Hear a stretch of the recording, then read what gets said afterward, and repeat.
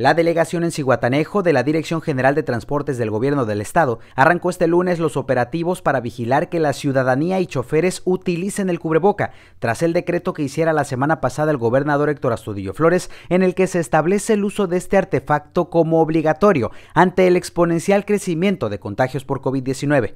El delegado de la dependencia en cuestión, René Rodríguez Rosas, precisó que el dispositivo va a ser sorpresa e itinerante. Añadió que afortunadamente se encontraron con que la mayoría de choferes y usuarios están acatando las medidas establecidas, lo que deja ver que ya hay más personas que creen en la enfermedad. Añadió también que la población lo está tomando de buena manera.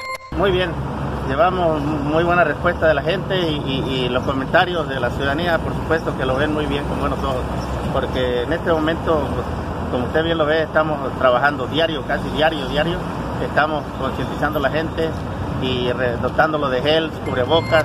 Dijo que además de los operativos, desde hace varias semanas han llevado a cabo acciones de sanitización en las unidades del transporte público, tanto en Ciguatanejo como en Petatlán. Incluso comentó que dejaron bombas aspersoras con líquido en algunas agrupaciones para que diariamente lleven a cabo esta práctica.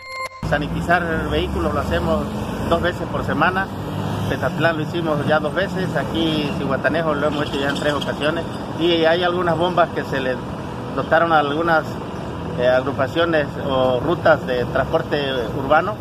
Las rutas más grandes se les dio una bomba para que ellos saniticen y me están haciendo llegar fotografías para yo enviarlas al Estado. Por último, agradeció al gobierno del estado y el municipio la disposición de dotar insumos para mantener una buena higiene en las unidades y cuidar la salud de los transportistas. Asimismo, pidió a la población que pongan de su parte y utilicen el cubrebocas, así como todas las medidas necesarias para disminuir los contagios.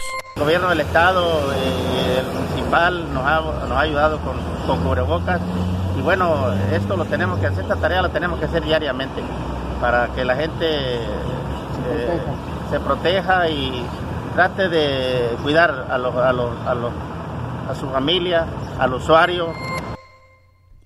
Isaac Castillo, Mega Noticias.